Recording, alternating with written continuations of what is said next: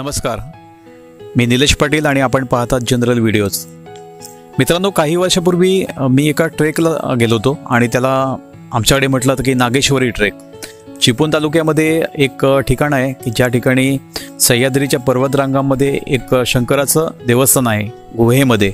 आणि अशा ठिकाणी आम्ही दरवर्षी श्रावण महिन्याच्या सोमवारी तिथे दर्शनासाठी आणि ट्रेक म्हणून अशा उद्देशाने मी तिथे जात होतो.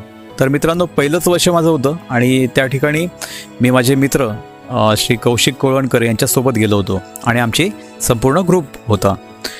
तर मित्रांनो माझी त्यावेळेला फिजिकल कंडिशन खूप वाईट होती कारण मला पाठीचा आणि कमरेचा त्रास दोन्ही मिळून एकत्र होतं आणि अशा वेळेला मी ते ट्रेक करू शकेल की नाही पूर्ण याचीही खात्री नव्हती. तर मित्रांनो माझ्यासाठी माझ्या मित्रमंडळींनी खूप चांगली एक प्लान तयार केला होता. की पाटील साहेब म्हणजे शरीराने वीक आहेत पण त्यांच्यासोबत आपण जे काही पूर्वी ट्रेक करून आलेले होते तर त्या लोकांनी त्यांच्यासोबत राहायचं आणि त्यांना हेल्प करायची यांच्या या प्रवासामध्ये. तर मित्रांनो असं सगळं प्लॅनिंग कौशिक सरांनी करून ठेवलं होतं की मध्येच एक दोन ठिकाणी चहा पिण्याच्या पण जागा आहेत की ज्या ठिकाणी तिथल्या लोकल लोकांनी अशी व्यवस्था करून ठेवली येणाऱ्या भाविकांसाठी किंवा ट्रेक करणाऱ्या लोकांसाठी. तर बघ ट्रेक सुरू झालं साधारणतः साडेतीन तासाचा आमचा चालण्याचा एक प्रवास होता. तर त्या दरम्यान काही अशी ठिकाणे आहेत सह्याद्रीच्या त्या पर्वतरांगांमध्ये की त्या ठिकाणी गेल्यानंतर खूप भीती वाटते. जसं वरती पाहिल्यानंतर डोंगर अंगावर येतोय की काय असं वाटतं. आणि खाली पाहिल्यानंतर खूप मोठी दरी आहे. तर त्या दरीमध्ये आपण पडतोय की काय असं आपल्याला वाटायला लागतं. तर अशाच एका वळणावरती कौशिक सर माझ्यासोबत होते. आणि ज्या वेळेला असं मला वाटलं की मला हे चढणं खूप कठीण जातं आहे किंवा कठीण कालावधीमध्ये मी कठीण प्रसंगामध्ये मी त्यावेळेला होतो की मी हा ट्रेक पूर्ण करू करू शकेल की नाही असं मला वाटत होतं. तर त्यावेळेला कौशिक सर मला म्हणाले की पाटील साहेब फार मोठा विचार करू नका डोंगराकडे पाहू नका वरती किती चढायचं आहे ते. तर तुम्ही एक एक मीटरमध्ये फोकस करा. म्हणजे तुम्हाला ते अंतर कापणं सोपं जाईल आणि तुम्हाला भीतीही वाटणार नाही. तर त्यांच्या त्या सांगण्याप्रमाणे मी एक एक मीटरच्या अंतरावरतीच फक्त नजर टाकवतो आणि असं करत करत मित्रांनो मी त्या नागेश्वरीचं जे काही ट्रेक आहे आणि तिथलं जे शंकर महादेवांचं जे काही दर्शन आहे ते दर्शन कौशिक सरांच्या एका या सल्ल्यामुळे माझं घडलं. तर मित्रांनो आपल्या आयुष्यामध्ये सुद्धा आपण असे कितीतरी ध्येय घेऊन जात असतो आणि अशा ध्येयांमध्ये आपल्याला आपले हे ध्येय पूर्ण होईल की नाही असं आपल्याला वाटत असतं. तर अशा वेळेला आपल्याला कोणीतरी मार्गदर्शक लागतं आणि त्या मार्गदर्शनामुळे आपण ते ध्येय पूर्ण करतो. आता मित्रांनो आणखीन एक दुसरं उदाहरण घेऊया. तुम्ही समजा तुम्ही एका फोर व्हीलरनी प्रवास करताय आणि तो प्रवास आता असं पकडून चालूया की मी ज्या ठिकाणी राहतो म्हणजे मी कोकणामध्ये राहतो रत्नागिरीच्या गुहागर या ठिकाणी.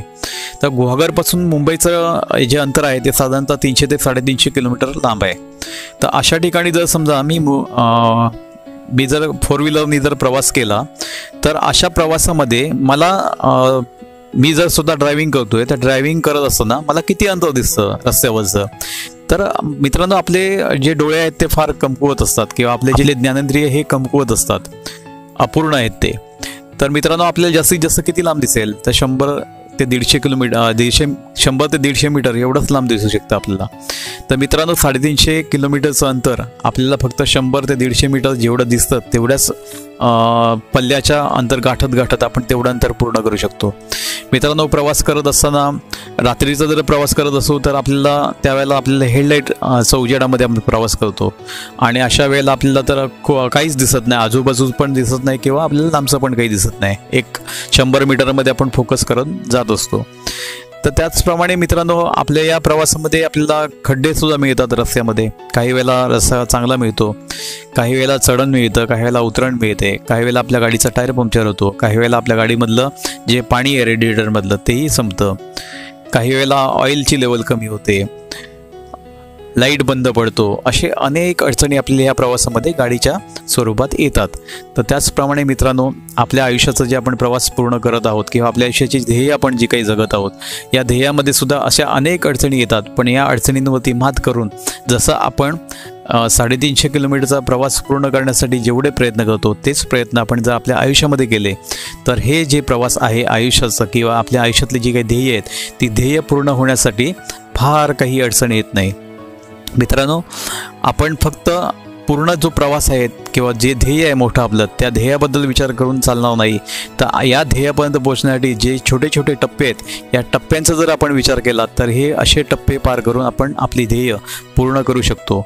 मित्रांनो सकाळच्या देवपूजेच्या वेळेलाच विचार आला कौशिक सरांनी केलेले हे जे काही मार्गदर्शन होतं त्या मार्गदर्शनाचं आणि त्या मार्गदर्शनाच्या आधारावरती मी तो नागेश्वरीचा टप्पा पूर्ण करू शकलो. त्याचप्रमाणे मित्रांनो हे जे गाडीचं उदाहरण आहे या गाडीच्या उदाहरणात किंवा कौशिक सरांनी सांगितलेल्या उदाहरणातून आपण आयुष्यातले कितीही मोठे टप्पे पार करू शकतो.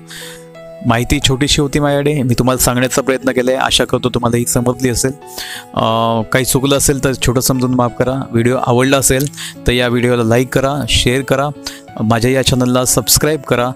आणि पुन्हा भेटूया नवीन व्हिडिओमध्ये. तोपर्यंत धन्यवाद. हरे कृष्ण.